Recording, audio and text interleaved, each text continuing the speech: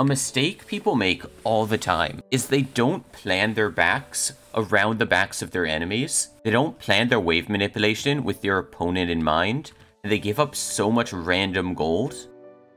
And this matchup is so this this matchup's so nice for for Akali, the Tryndamere matchup. Yeah, the matchup is very forgiving for Akali. You can W when he is in. Oh yeah, I know. And and you can punish him with your extra range compared to him. And I also know Tryndamere's weak without Fury, so that's why I'm trading aggressively here. Hmm. Much. That ward needs to be deeper. I mean, the ward needs to be deeper, but alternatively, I can say I don't think you should have warded in that timing because you gave him time to build Fury. And if you were being, if you get ganked by Gragas, like, I don't think your response changes with the depth of the ward you can place there without missing farm. And also, because look where the wave gets caught, right? Yeah, it's in such a spot. I needed to, I needed to shove it and not ward them. This is tragic. I'm like, please, I'm like, all right, guess I'm going for the 2v1. And then I'm like, oh, I get revealed. Let me show you something. Yeah. Instead of turning around like this, you should shroud right here. Like just QW. Have the shroud be right here. Yeah. Then, if you have it up here, you can maybe get to the bushes and play with the alcove with your E. Yeah. Or your flash. Like, if you can play with this area, you might be able to get out of this. Yeah. But because you kite down into this area, there's no way you're getting out. It's a bad start. Now, this is the ideal wave position. You want to keep it coming into you as long as you can. Because he still can't walk up to you for trades. And if the wave is coming into you, and you can deny the Fury at the same time, like this was a really bad kill. I know you're thinking like, oh, he has double buffs.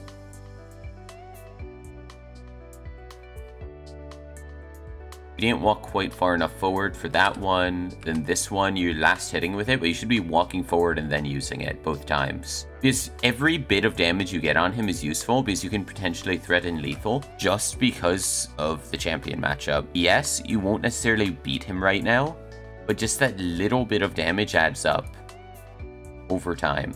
And if you waste E, you just have to E Oh, this shroud was bad. I was so sad on that shroud. Yeah, it needs to be up here. Then you didn't get the walk. Rip. Either way, though, you almost win the trade, even with the mistakes, because of the champions. Yeah. And the thing is that you poked him a bit beforehand. You got that Shroud in a better position. Maybe you can just chase down and kill. And get those double buffs for yourself. You have one ward up.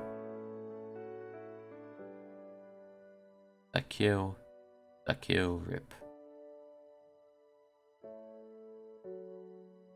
So, you get him this low with missing two Qs. Yeah. If I hit that, yeah. Try to aim your Qs. Okay, imagine that I'm playing Akali right now. When I flick my mouse and I'm trying to poke him, what most people do is they move their mouse here when they're trying to use it, right? Think about this. Most people will aim somewhere on the upper body, but that's wrong. That leads you to missing so many skill shots where you should be aiming is actually right here. In League of Legends, we're in an isometric view, and the hitbox is actually centered around the base of champions models. The highest chance of hitting an ability is the base of the hitbox, and the base of the hitbox in League is always at the base of the champion. Make sense? Oh, that makes that makes perfect sense. Could still be cleaner. You use the E and then you instantly cancel the E with R. Yeah. And actually fine. I I like to see that because you didn't give the E a chance to get you as far out of range.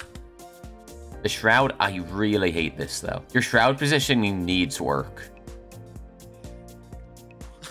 Looking at it now, I'm like, why am I shrouding? What are you afraid of? Something to be afraid of. I think if he ults, he might actually kill you here because you don't have Shroud. I'm going to be completely honest. Because then he just turns and autos me. Okay, you would have had to flash away. But I think you would have lived. But you wouldn't have killed him regardless. And that's because of the Shroud use. Where, like, it's not a problem here, but it would be a problem against... He was better. If he was better, like, and, and like, like let's say, a, like a Diamond 3 Tryndamere, right? Like, yeah. That was, again, the same thing. I could actually see it. The... Where I keep aiming for the head? Yeah, it's instinctive to people to aim for the body or the head. Like, look. Yeah. Your Q is on the upper half of him, see? Yeah. But it's so easy to just aim for the lower half. But the actual thing is, like, think about this.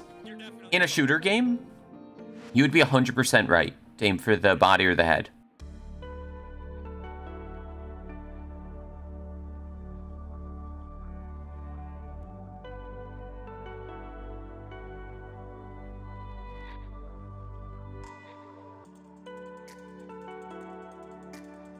Passive use. Fine. Now what sucks is Tryndamere gets a lot of turret plates though, which is kind of tragic, but You did get more gold than Trin did there, just to tell you. Trin has 300 gold deficit on you. It's because this, the three tower plates he just took, that's worth 360 gold. Tower plates are not worth as much as the kills, because you got two kills from that. So if you take three plates, it's equal a kill, but then you got two kill, not one. and I also prevented them from doing Infernal. hmm So it's definitely. Don't get me wrong, it sucks that he got the plates, but that was worth it for you. Yeah. And then he just trolls because he tries to fight a Gunblade Akali without ult up. And this is and at this point I'm like, cool, game's in my hand. Like I'm ready. Yeah. Mistake is actually back here. When you kill this plate, you back. And actually, you don't even kill this plate. What you do is you push this. You walk up. You should auto the tower. Let's see. Three times. One, two, right? Three. And then recall right there. Recall right here. In place. If you auto right here, right? Or one more auto, so it was four auto. Then you recall, right? The minions will get the tower down to the plate, and if you recall in place, no one's going to cancel you anyway, and you have the wave here. That way you get the gold while you're recalling, and that way you get the recall off sooner. So 1322 is when your recall starts, it will finish at 1330. Just keep this in mind. In base already at 1330, you have a 120 less gold. What does this 120 gold that you got give you? Let's see, you would have 1600 instead of 1720. Or you would have 1500, sorry, because of the minions. What should we buy? Haunting Guise, but you still have 240 gold, right? 200 gold, so it doesn't matter. That So you had no use for this extra gold. What time do we get to base? 1403. How long does it take to go from base to top lane with boots on? Imagine this, 1330? It would be around 14, right? It's 30 seconds to the top tower, 37 seconds to here, 35 seconds, actually, to go to the lane with boot. But it would only be 28 seconds to get to the tower. And that's what's relevant to stop him from taking tower, right? I would have prevented Tryndamere from getting first. So imagine this: you'd at 1358 if you bought instantly. So let's say 14. Yeah, it's pretty much the same. You'd be getting to the tower to prevent it. But guess what? Where's Trynd at 1407? He's here, so you'd be getting here when Trynd is here, right? So Trynd is here, and you're up here at that timing. You see that? Yeah. So, a mistake people make all the time is they don't plan their backs around the backs of their enemies. They don't plan their wave manipulation with their opponent in mind, they give up so much random gold to completely preventable things because they don't think it out. And I didn't think it out. So, like here, you got an extra 200 gold, had a buy that didn't matter for you because you wouldn't have spent this extra amount of gold anyway on this item. And you lose a bit of a wave and you lose your first tower bonus gold. And honestly, can you tell me that you wouldn't have taken first tower if you just kept laning against him normally? I definitely would have gotten first because I would have chunked him out, and I've like. I mean, I've already, I've already done it before, right? Yeah, of course. You've already killed him multiple times, so you just shut down a bit of your snowball for no reason. Yeah, and I slowed the game down in a game that's, you know, very. I mean, look at their gold lead. Like, it, it's only the kills are even, but the gold lead is Yeah, it's 2k because look at the farm differential on bot lane and mid lane. like I can't afford like in this game where it's like the game's in my hands. Like I can't afford to be giving over free gold. And, It's like you're still ahead and you're still doing the best on your team. It's just, let's say Trend might have 5,000 gold right now instead, and you might have 6,900 when you take this tower. This is so troll. I think This is really stupid. this is so troll. Oh my god. This is the most dumb thing. Like this is like that's game that you could pause the VOD right there and say you lose the game off that. I lose the game 100% off that play. There's a few things.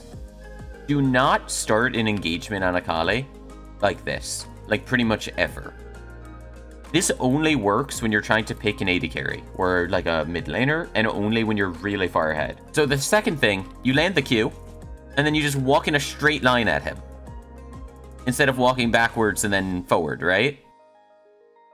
So we don't get this passive proc until out here, so we're missing one extra Q auto that we could have potentially had. Is you get a speed buff every time you do this, and then, like, there's no point to this. It, it's so bad. Look at the shutdown gold. Look at that 500 gold. Tryndamere's like, give me that money. And this is the sort of thing where, you know, this can work, but only if you approach it from the lane and you get one Q auto before you start the ult. If you can get him a tiny bit lower, you know the difference of that working or not is that extra two seconds of having an extra 200 damage on him at the start of it. I mean, it made no sense. There was no reason to go for that. It would be better to shove out the wave and try to rotate. Instead of this, what do we have on the map? We have a mid tower that's full. We have a bot tower that's full. We have ult right now, and Trend isn't going to get to anything for a long time. So if instead of walking here, you come here, you shove this wave, he's not going to contest you shoving this. You get this wave to tower, so he has to deal with this wave, he has to deal with another wave that will be here, and another wave that will be here before he gets to your tower.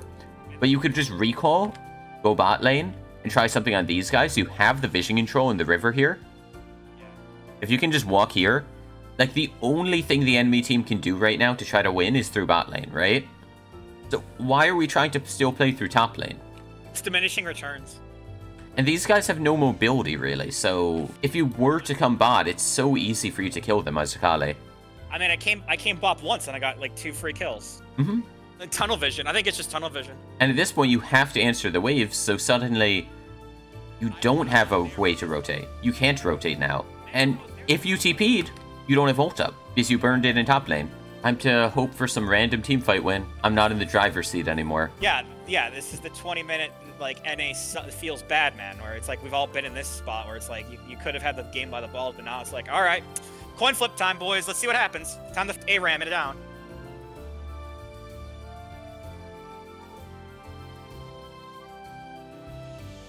So let's go through this step by step. Anything, I would say when you're chasing this, you needed to use your E and then immediately use your R2 to break it so that you'd have a mark on your shroud. So the exact angles you wanted to take.